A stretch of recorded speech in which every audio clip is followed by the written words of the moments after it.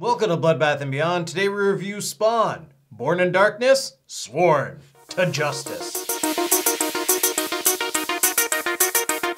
Directed by Mark A.Z. Dippé, starring Michael Jai White, John Leguizamo, Martin Sheen, Theresa Randle, Nicol Williamson, and D.B. Sweeney. Based on the comic book of the same name from Todd McFarlane, Spawn's about Al Simmons, a mercenary who's killed, who's sent back to Earth to cause the apocalypse then lead Hell's army in a war against Hell and Heaven. But really the movie's about a cool ass guy in a neat suit who fights a clown guy who is terrorizing his old family. This is a retrospective review, I know. It shouldn't be because this is 97, but that's old enough. And we just want to talk shit. And we're gonna talk spoilers and we're gonna talk about the whole movie as it is. So, what did we like? I really liked how they adapted this into a live action movie. Whether it's a video game or a comic book, sometimes they really don't pull from the source material, they don't get the costume right, they don't get the actors right, but they did a great job making this feel like the Spawn comics. Yeah, well, it deviated a little bit from the like the story, I guess. The look and the feel and the grittiness just was exactly Todd McFarlane. And thankfully, because that's what made Spawn comics so cool. Just how R-rated they were. I bought the first one in 93 when it came out. It warped my mind a little bit. Maybe it helped push me into the horror territory. Who knows? But it's something that we as kids read and watched on TV because the animated series was out and was also like R-rated. Or maybe not R-rated, but definitely not something that we should have been watching as kids. And I just loved the whole look of this movie and how it didn't hold back. I also thought they did a great job in their casting. My personal favorite is gonna go out to John Leguizamo. I think he nailed Clown. Funny, funny, he's our man. If you can't kill him, no one can. When you're reading the comics, it's exactly what John Leguizamo did there. And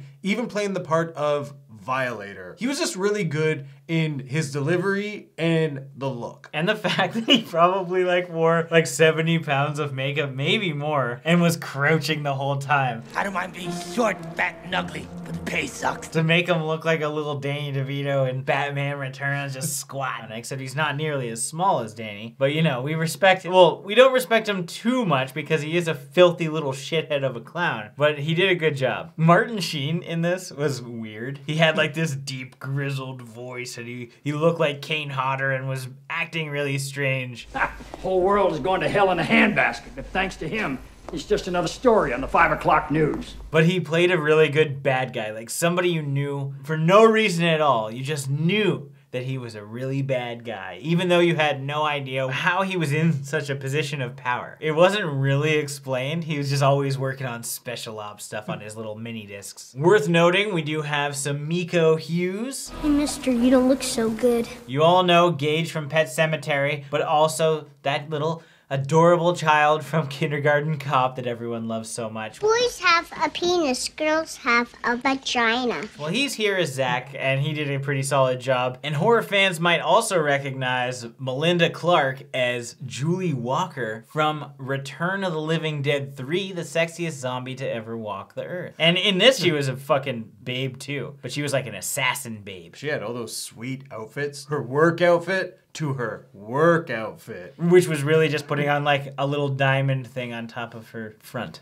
I guess. While she's still dual wielding these ridiculously futuristic guns. I hate how back in the day, all future guns were like boxes. But then again, we look at that Tesla Jeep and we're like, well, maybe we are going that direction. I was very thrown off, but greatly enjoyed that Frank Welker, who is a voice actor, he's the voice of Dr. Claw, and I think he nailed Malebolgia.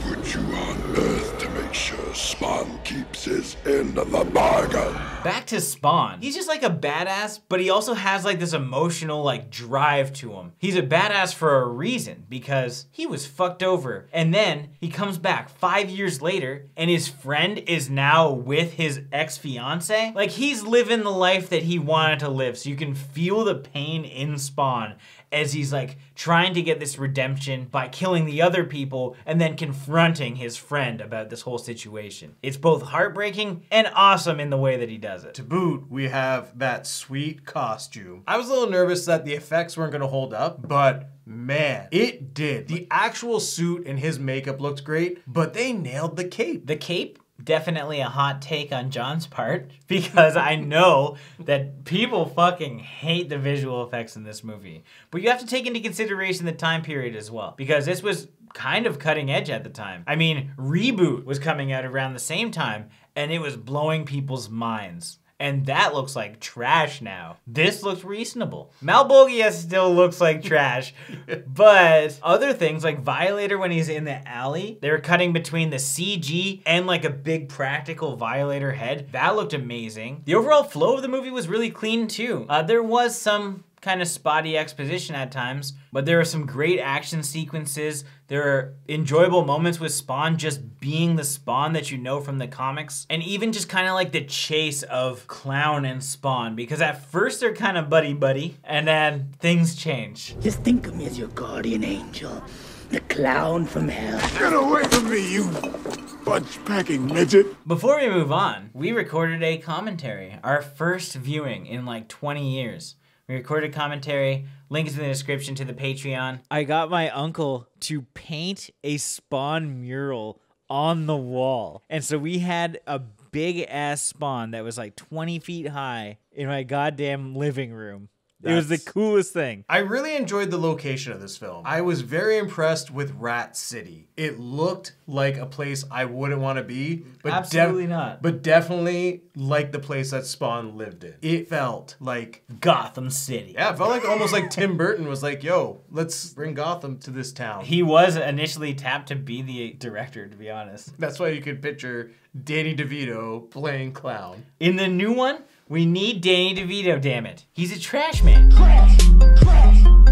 Speaking of trash, what didn't we like? Some of the CG was shit. They did some great things back then for the time. Does it hold up now? Not so much. There are definitely very terrible effects. Even like the first scene, okay. Night vision doesn't look bad, missiles don't look bad, triangle explosion of a jet, and then it only continues from there. Hell itself was pretty weak with the mini spawns. I was not a fan of Quit mini calling spawns. them the mini spawns. They look They're- like little mini spawns. They're regular sized spawns, they're just far away. It felt like Army of Darkness, and it was just a bunch of like little little ashes running around. They weren't doing shit though. They were just standing there, like waiting for like, can any one of you assholes please be our commander? like Violator strong. Violator probably could have led them, and that's what's kind of like dumb about it too. Is like they gave Al the power, and all of a sudden he's using that power against him. Imagine sitting there looking like your big papa here. Hey, who you giving the powers to? I've been waiting li- literally hundreds of years. Like, you got enough powers. We'll give it to this new guy. It's like you're too busy clowning around. Uh, that's probably true. He's gonna make some fart jokes and just drink some Manhattans at like a kid's party. I guess what this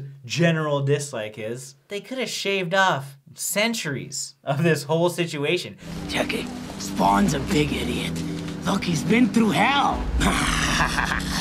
That guy's still wearing mithril armor. Why didn't he get a spot? Well, he wasn't going to. But I mean, he's from the old times. The ye old times. All right, you overgrown gecko.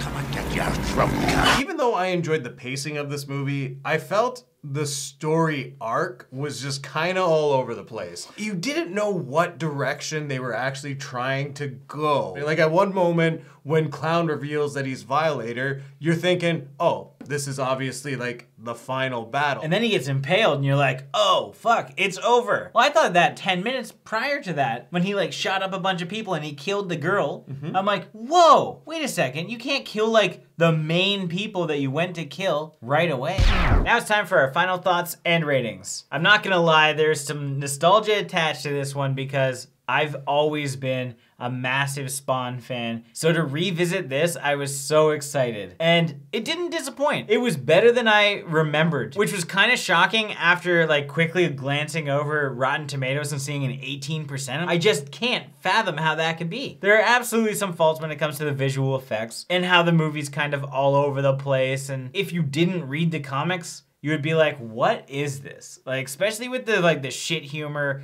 from Clown. Like, he's a very strange character, and there are definitely some weird decisions, but it's part of the charm of Spawn and Clown and Violator. I think all of the actors did an excellent job. The practical effects were great. The suit and the look of Spawn was just so on point, and even some of the visual effects worked well for the time. I didn't necessarily love this movie, but I will absolutely watch it again. So I'm gonna give this three digging my own grave out of five. Start digging. Now, I know there's a lot wrong with this film, but it's hard to hate on it, especially if you collected the comics. Revisiting this, I still love everything that is Spawn. Like, this movie definitely holds up. They did a great job in adapting this comic book into a movie because we've seen so many failed attempts from other comic books gone to movies before that just didn't work out. I enjoyed a lot of this movie. I strangely enjoyed the visual effects. There are some bad ones, but outside of that, Rat City looks great. The fight in Rat City with Violator and Spawn was a really good fight, and I just had a really good time with this movie. So, with that being said, I'm gonna give this film three and a half classy clowns out of five. As always, thank you for watching. Like this video and comment below with your thoughts on the film if you've seen it. If you haven't and you do want to check it out, links are in the description. And if you want to hear the full cool ass commentary that we did, first link right in the description. You don't even have to click the little bar to go in there because I know most of you don't. Hit it up, listen to the commentary, throw the movie on and enjoy the ride. And if this is your first time here, make sure you subscribe to the channel stay up to date with everything Bloodbath and beyond.